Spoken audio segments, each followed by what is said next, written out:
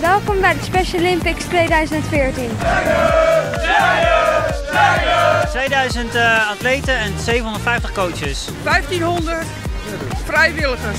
20 verschillende sporten. Oké, okay, allereerst het stadion. Gaan we staan en klappen.